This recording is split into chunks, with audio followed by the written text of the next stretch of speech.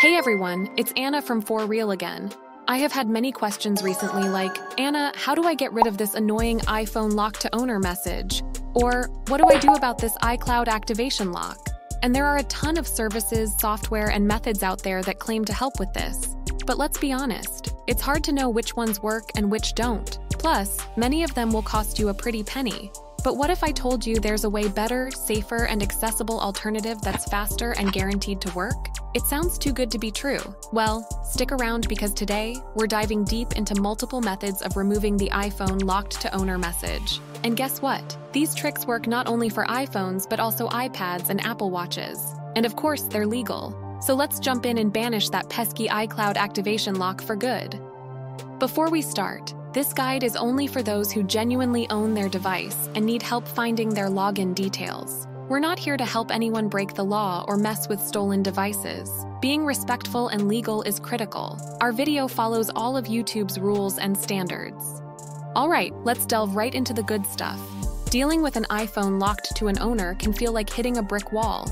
But don't fret, there's always a way around. And the key to unlocking this virtual door is understanding the services available to help. For example, consider Safe Unlocks. It's one service that's gained a reputation for its effectiveness in dealing with iCloud locks. The reason why it stands out is because of the simplicity and straightforwardness of its approach. Now imagine this. Another service that stands out in this field is iUnlock app. You have to appreciate how they've focused on making their service user-friendly. It's been designed with the user in mind, handling the technical aspects behind the scenes while you enjoy the results. Then there's the AI-powered unlocking web app by Unlock Here. It's innovative and clever. It uses AI technology to streamline the entire unlocking process, making it both fast and reliable. This feels like the future, doesn't it? And you can never forget Locked to Owner. This service is your go-to solution when an iPhone is locked to an owner. It's remarkable how they've developed their service to address this issue. Remember that the following steps are equally important, as we'll be discussing how to utilize UnlockHere's AI unlocking assistant. Exciting. It's essential to know these unlocking services primarily operate in first world countries.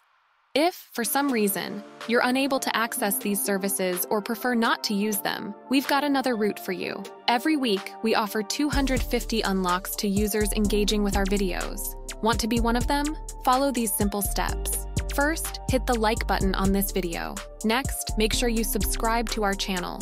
Finally, drop a comment below. Now this isn't just any comment. It would help to mention your phone model, like Samsung S9, along with your IMEI number and country. That's it. Once you complete these steps, you're automatically entered into the Unlock giveaway. We couldn't make it any simpler, right? Remember, clear and concise is the name of the game here. All right, let's get right into it. Open your favorite browser on your phone or computer and head over to unlockhere.com. This isn't just any website. It's an AI assistant powered web app designed to help you unlock any mobile phone restriction you're dealing with. Here, you'll meet Nifty, our friendly AI bot. Let Nifty know you're looking to unlock iCloud by simply clicking on Activation Lock. Pretty straightforward. Next, you'll have to choose your device. If you're an iPhone user, select iPhone, but don't worry, if you're using an iPad or Apple Watch, you can choose those as well. You'll need to provide your device's IMEI or serial number. Now you might be wondering, what's the difference? iPhones always come with an IMEI, so choose this if you're unlocking an iPhone. Some iPads and Apple Watches have IMEIs if they've got a SIM card slot or cellular capacity, but most only come with a serial number. To find this information, press the sleep button on your locked device, press it again, and tap on the I at the bottom right. Voila! You have your device information. Remember to input the information here. Now don't forget the next bit, it's crucial. You'll need to provide some basic info to attach the order to your account. It has to be accurate info to receive your order confirmation. Next, you'll need to check a few boxes. First, agree to the terms and confirm that you're not trying to unlock a stolen device. Then, take a moment to prove you're human.